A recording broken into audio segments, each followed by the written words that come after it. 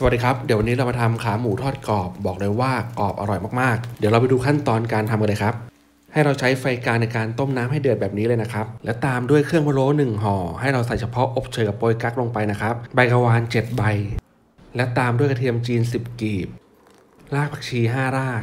เกลือป่น 2 ช้อนโต๊ะ และตามด้วยขาหมู 1 กิโลกรัม เราจะตุ๋นขาหมูของเราอยู่ที่ 2 ชั่วโมงนะครับ ให้เราหลีไฟจากไฟกลางมาเป็นไฟกลางค่อนอ่อนในการตุ๋นนะครับ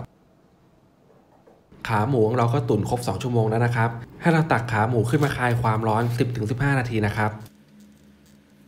ขาหมูของเราคลายความร้อนแล้วนะครับ ขั้นตอนนี้ให้เราใช้ซ่อมจิ้มไปให้ทั่วหนังหมูเลยครับ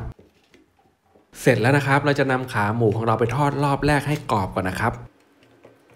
น้ำมันของเราก็ร้อนนะครับ ใส่ขาหมูของเราลงไปทอดเลยครับ เราจะใช้ไฟกลางค่อนอ่อนในการทอดนะครับ ทอดรอบแรกให้หนังเขาพองขึ้นมานะครับ จะใช้เวลาทอดอยู่ที่ 15-20 นาทีนะครับ ให้เราหาฝามาปิดไว้ด้วยนะครับ กันน้ำมันกระเด็นใส่เรานะครับ ในระหว่างทอดก็ให้เราพลิกไปพลิกมาด้วยนะครับ หมูของเราจะได้สุกทั่วๆนะครับตอนนี้หนังหมูเราก็สุกพองแล้วนะครับ ในรอบแรกนะครับ ตักหมูของเราขึ้นมาพักไว้ให้คลายความร้อน 20 นาทีนะครับ ก่อนที่จะทอดรอบ 2 ให้หนังเขาฟูกรอบยิ่งๆขึ้นไปนะครับ เดี๋ยวเรามาทอดรอบ2เลยครับ ขั้นตอนนี้นะครับให้เราใช้ไฟแรงในการทอดนะครับ ทอดให้หนังหมูของเราสุกกรอบฟูขึ้นมาเลยนะครับ จะใช้เวลาทอดอยู่ประมาณ 5 นาทีนะครับ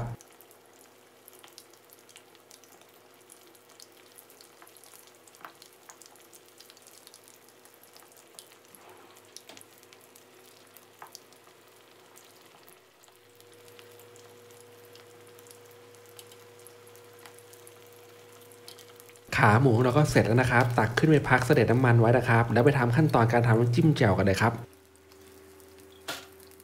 น้ำมะขามเปียก 3 ช้อนโต๊ะ น้ำปลา 2 ช้อนโต๊ะ น้ำตาลมะพร้าว 1 ช้อนโต๊ะ แล้วก็คนส่วนผสมน้ำจิ้มแจ่วให้เข้ากันนะครับ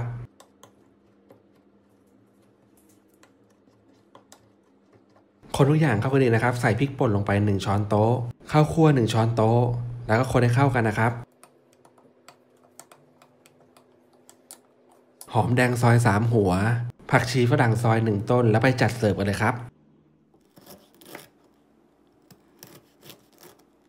เสร็จแล้วนะครับ เมนูขาหมูทอดกรอบสูตรโคสนาม สีสันสวยงามหน้าตาน่ารับทานมากเลยนะครับ เมนูนี้ครับเสิร์ฟคู่กับน้ำจิ้มแจ่วรสเด็ดเลยนะครับ หมูของเรามีความกรอบอร่อยมากๆนะครับ ถ้าเพื่อนๆชอบนะครับก็สามารถนำไปทำทานกันได้ในครอบครัวนะครับ วันนี้ผมต้องขอตัวลาไปก่อนนะครับ วันนี้สวัสดีครับ สุดยอดมากครับ เมนูนี้